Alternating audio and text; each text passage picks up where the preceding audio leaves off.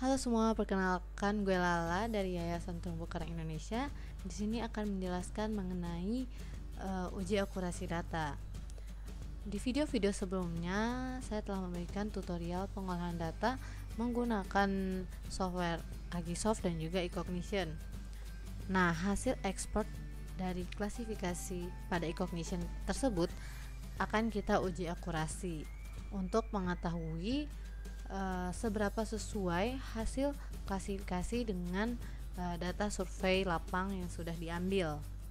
Oke, langsung saja kita buka software QGIS. Dan kita masukkan file shp titik akurasi. Dan kita masukkan juga hasil eksportif dari eCognition Oke, sudah muncul. Kemudian kita pilih sampel raster value pada toolbox. Untuk input point layernya kita gunakan file uji akurasi, kemudian raster layernya kita gunakan hasil klasifikasi. Untuk outputnya kita gunakan kita ubah menjadi sampel. Kemudian kita run. Oke, kita close, kemudian kita export dengan format CSV kemudian kita save.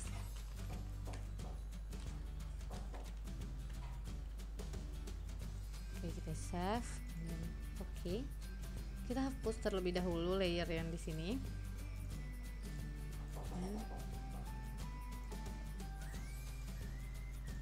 Kita buka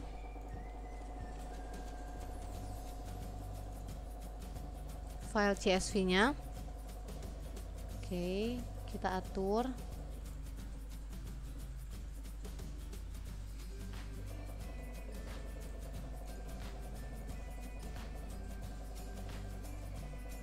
Untuk nilai sampel ini bisa kita ubah dengan cara filter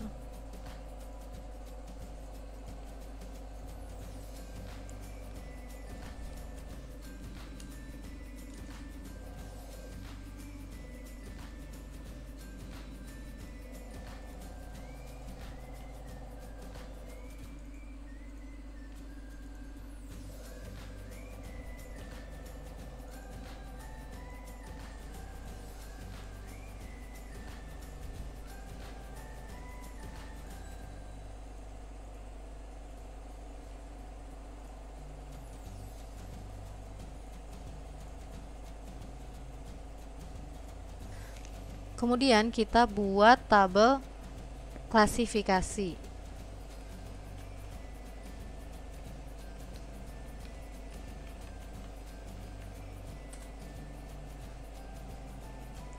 Untuk pengisian tabel klasifikasi ini bisa kita lihat pada CSV hasil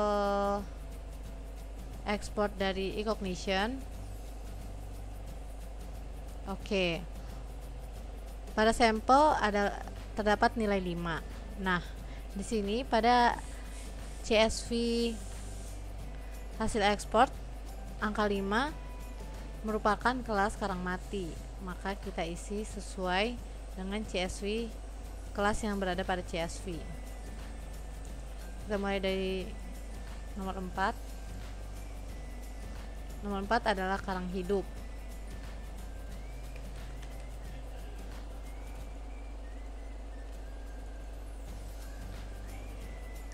Kemudian kita lanjut ke nomor 5 di sini adalah karang mati.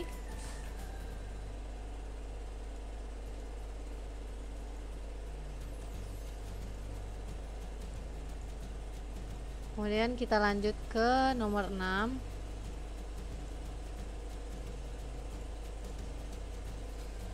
pasir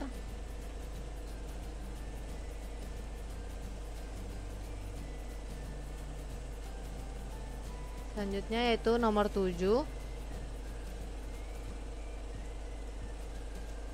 itu rabel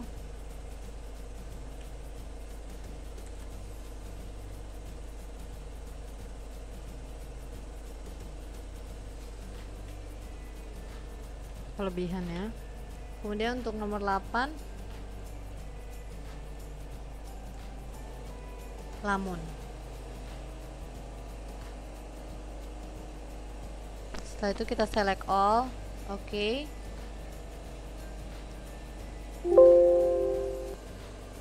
selanjutnya kita membuat kolom observasi.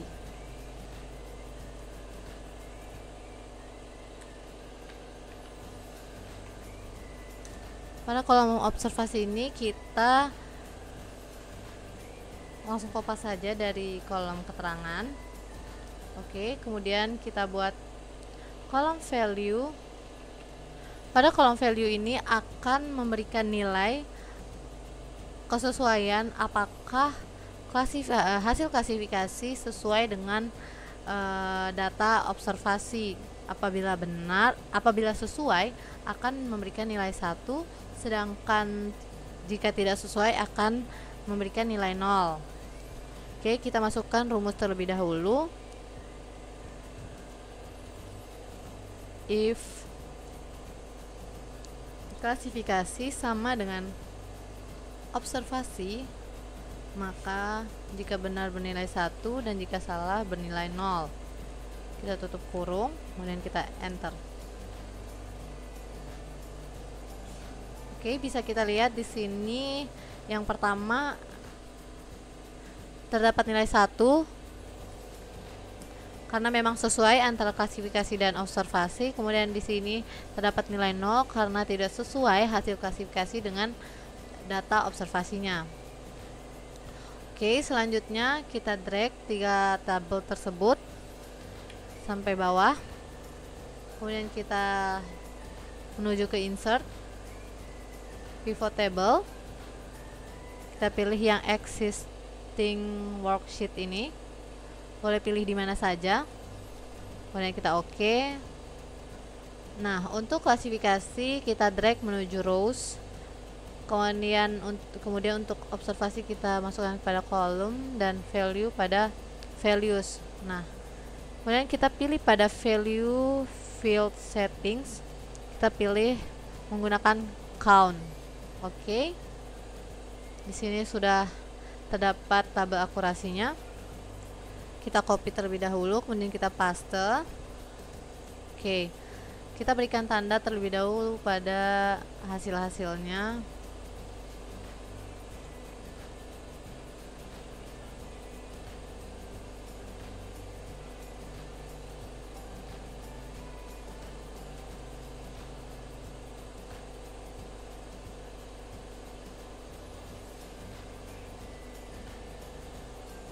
Oke. Kemudian pertama-tama kita akan menghitung total diagonal.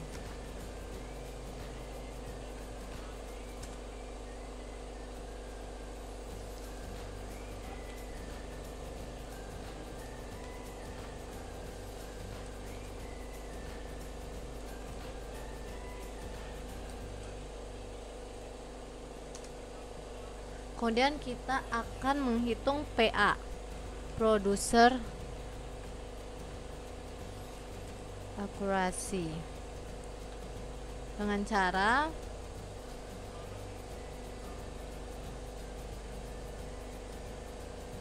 dengan cara hasil klasifikasi karang hidup.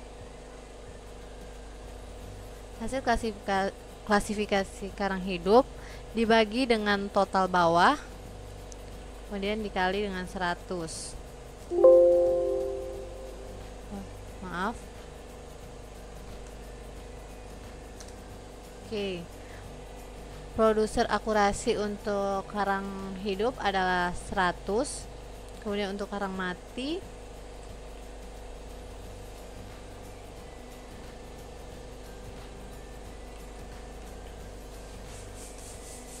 ada 8 ada 83,3 untuk lamun.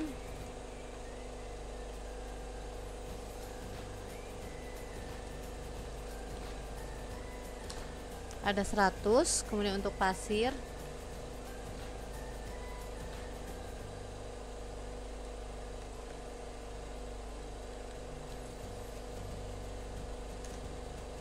Ada 77 kemudian untuk rabel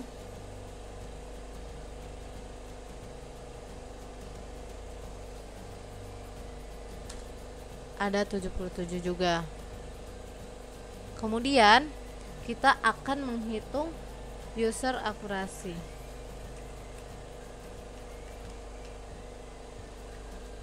Untuk user akurasi kita akan melakukannya dengan cara hasil klasifikasi karang hidup dibagi dengan total ke samping dikali dengan 100 untuk karang mati juga sama.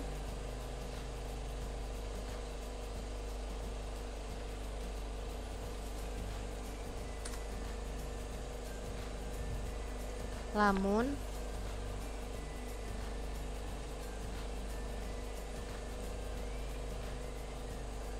Kali 100 untuk pasir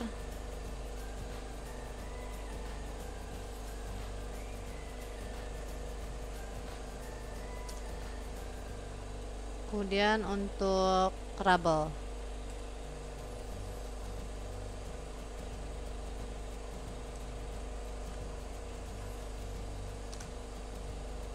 oke okay. kemudian kita akan menghitung overall akurasi